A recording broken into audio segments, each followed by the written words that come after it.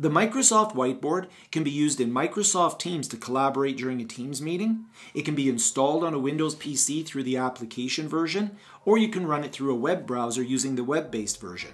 Now you might wonder whether there are actually different versions of the Microsoft Whiteboard, because over time it's become a very consistent experience between all three places that you can use it.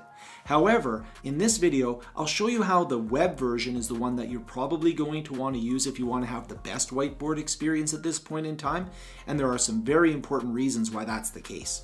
There are three different versions of the Microsoft Whiteboard. To be technically accurate and to be fair, I think maybe we can't really call them different versions of the Microsoft Whiteboard.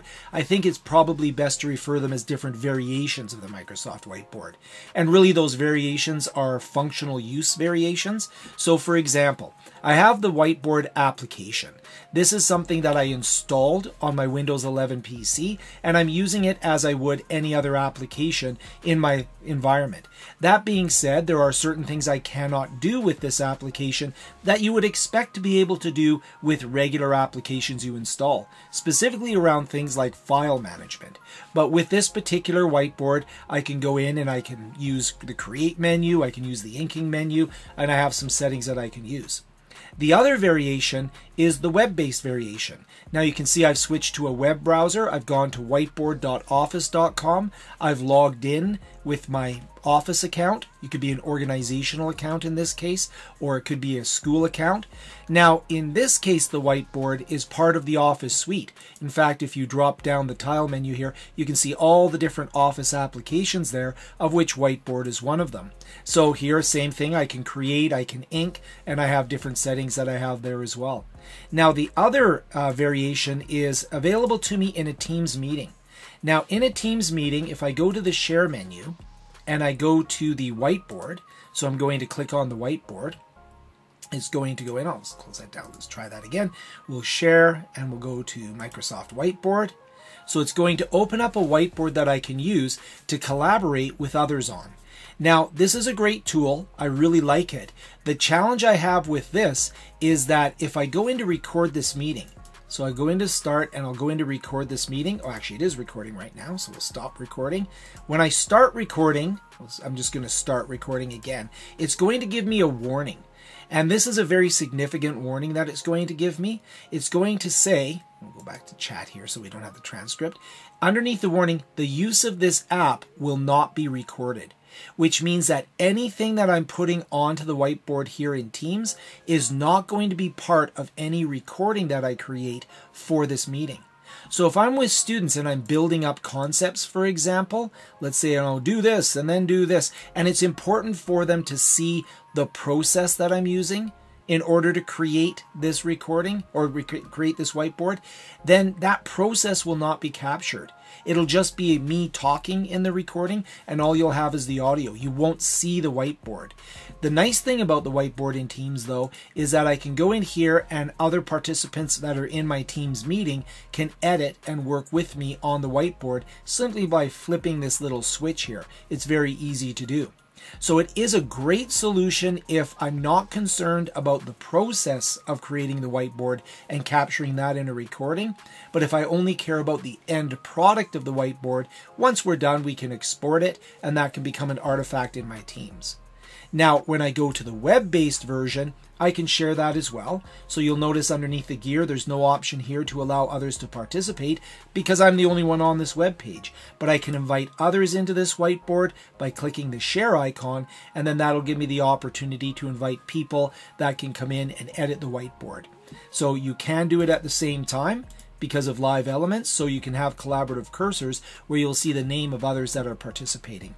You can do the same with the application one because it really is, again, not a version, it's a variation. So what's really happening here is this is just the application. It's sitting on top of the whiteboard that's running in my Office 365, sorry, my Microsoft 365 environment, which includes the whiteboard application. So notice I can invite others into this as well, and I can also set it up for collaborative cursors. So you might say, okay, so it doesn't really matter which one you use. They're, they're all the same interface. They all have, you know, generally the same functionality.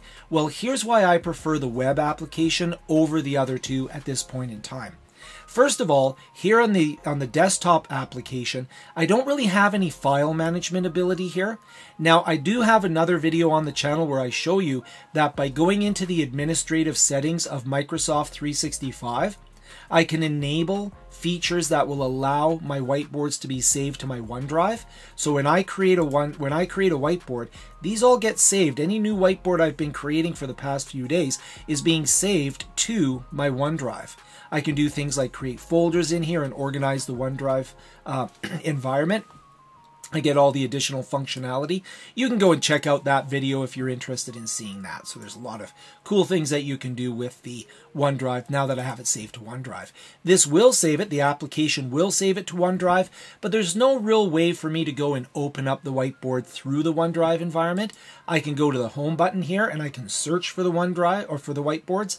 I can search for the different ones that are there and it'll show from most recently used to last recently used. And no, you can't go in and uh, choose a older whiteboard and save it to OneDrive. It's only for new whiteboards that you can save to OneDrive once you enable that administrative feature. So that's great. I mean, I do like the, the desktop version of, but I get the exact same functionality here in the web version, except with the web version, if I were to go into my OneDrive and choose one of my other whiteboards, so let's take a the biology whiteboard, it will automatically kick me to a tab in my browser and it will allow me to open up the whiteboard. So it's going to open up that whiteboard I'm going to be able to make changes to it. I'm going to be able to, you know, add notes to it, whatever I want to do with this particular whiteboard.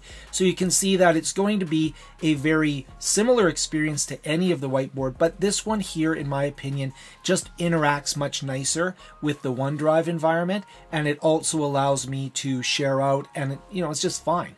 The other big benefit of using a web browser is that I can also use my Mac. Here on my Mac, you can see all the whiteboards that I had in my Windows environment are here because they're all stored in the cloud. Now, in my case, any new whiteboards are being stored on OneDrive. So I could open up a whiteboard, I could create a new whiteboard. If I go to my OneDrive folder and grab one of these whiteboards, it'll open it up.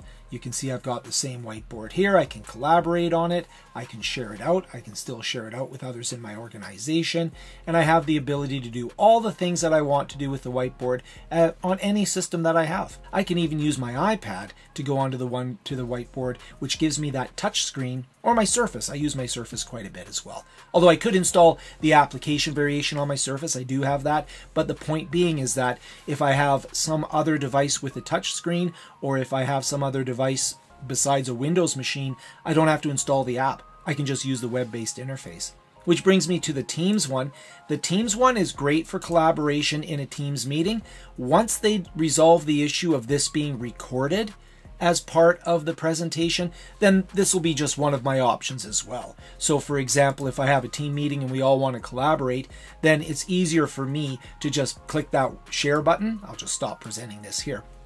It's easier for me to click the share button and then go into the whiteboard. Right now what I do is I'll click the share button and rather than go into the whiteboard, I'll actually choose the window where I actually have my web-based variation of the whiteboard. All my participants are now seeing this, so they can all see this. So if I'm presenting concepts that build upon each other, this will also be part of the recording of the meeting. If I want them to participate, I would have to go and share it from here. So you kind of have to balance those two variations against each other for the specific functional thing that you're trying to do at that point in time. So if you're trying to collaborate with a concern for the end product, use the built-in whiteboard. If you're trying to demonstrate a concept on build a solution and want that recorded as part of your lecture, then use a shared window and share the web-based version. So as you can see, the inability to record the whiteboard in the Teams meeting is a big issue if you're building up a concept. You can see that the application has issues around how I can work with the whiteboards, copying them and working with them in that environment. So the web-based version is going to give me the most flexibility, and it's the one that I really do recommend that people work with at this point in time. Thank you so much for watching this video. If you're interested in more topics around Microsoft Whiteboard, I have a number of videos here on the channel about them, and I have a whole bunch of videos about how we can use technology to learn and teach better. If you like that sort of thing, you can subscribe, comment on this video, like this video, and share with others if you want to help out the channel, because that really does help out the channel. And most of all, thank you so much for watching.